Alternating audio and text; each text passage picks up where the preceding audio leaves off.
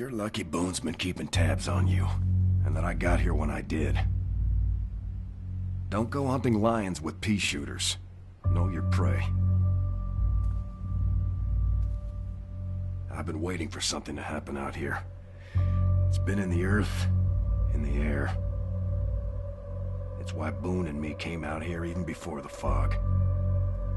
There's power on Solomon Island, the kind that spreads. Filth.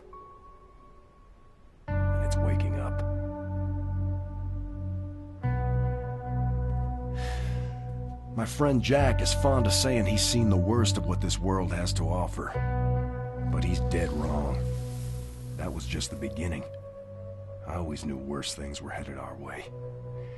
And now they've arrived. The man you're chasing carries something powerful. And potentially dangerous. I'll do what I can to help, though I lack your particular talents. Took me 30 years of looking to learn how to cast a simple spell. Nope. I get too close to that artifact, it's a bad deal all around. I hear the whispers even now. I don't have your natural defenses. I'm afraid of what it might do to me. Of what it might make me do to all of you. I've been doing some digging. As far as I can tell, this relic is what brought the fog here. Or at least what controls it. Whoever wields it holds the fate of Solomon Island in their hands.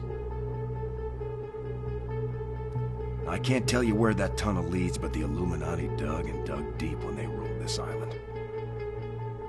It's a network that stretches from Kingsmouth in the east to the Academy in the west.